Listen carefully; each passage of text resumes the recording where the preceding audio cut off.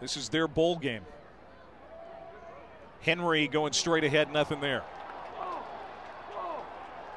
Did the Ball ball come out. loose? Louisiana says they have it, do they? And this is interesting because it looked like ULM was content just to take this thing into halftime, which I agree with that philosophy. But if they give up the ball here, that's huge. Still no official word. And now the official trying to pull players off. Farad Gardner, who's already had an unsportsmanlike conduct penalty, getting pulled away by the official.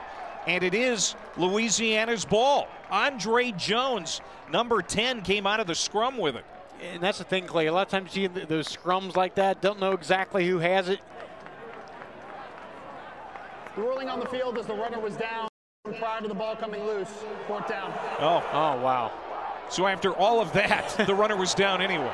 I don't know. previous play is He was further not down. Just had one look at that replay, but it looked like he was held up and his knee didn't hit the ground before the ball popped out. Again, in that scrum there, when they're looking for a see who has it, nine times out of ten, the guy who can hand the ball to the referee, that's who they're going to go with. Well, you can see the ball is out yeah, that right ball's there. out. That ball's out. And because I think Andre Jones came out of that and handed the ball to the referee, I think this is going to be Louisiana's ball. Zi'Yon Hill and Chauncey Manac forced that fumble. And how good has Chauncey Manac been the last couple of weeks? He's had a great couple weeks. Four sacks in the first half last week, one here today. Former Georgia Bulldog. Maybe giving Louisiana an opportunity here with a few seconds left on the clock before halftime to add to their lead.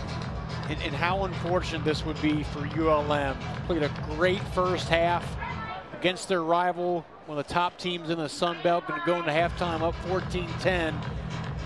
Really just look content to run the clock out, but it's going to give Louisiana the ball with a shot. They still got a couple timeouts left. You see the uh, plus 11 turnover margin for the Raging Cajuns in the last four games. And it's been a real problem for ULM the other way. They have turned it over eight times in the last four games, all losses, and maybe a critical one here late in the first half.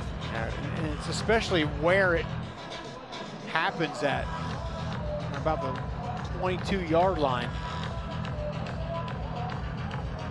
So they're ruling Henry down. Uh, The replay shows he was nowhere near down. Here's After the call. review, the ball was loose and recovered by the defense.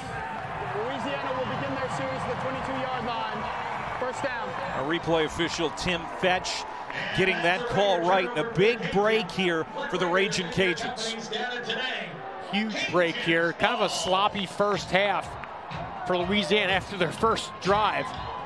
But they're going to get the ball back 11 seconds, two timeouts. And I think, Clay, this area of the field, and they may have put some time back on the clock. Yeah, maybe about 19, 20 seconds they're going to put back on the clock. Plenty of time from this area of the field to score. Well, especially for this offense, we saw them score quickly on the first series of the game in two plays. They were in the end zone in 40 seconds. Second drive scored in under four minutes. But uh, they've kind of stalled out here the last four drives. Now And- they get a break. And I can't understand why they adjust the clock and put about another eight or nine seconds on it. Yeah, I think that's what they're going to do right now. Timeout. Louisiana Monroe. They're first. It is 30 seconds. Well, Monroe calls the timeout. Is it too late to adjust the clock here if someone catches it? It, it, it seems if I'm Billy Napier right now, I'm, I'm trying to ask why more time hasn't been put on the clock. I mean, I mean, this is if this were back in their own territory, okay, fine, because you know the chances of scoring aren't, aren't very good. But right here, another eight seconds. That's another at least one more play. You'd have an opportunity to run.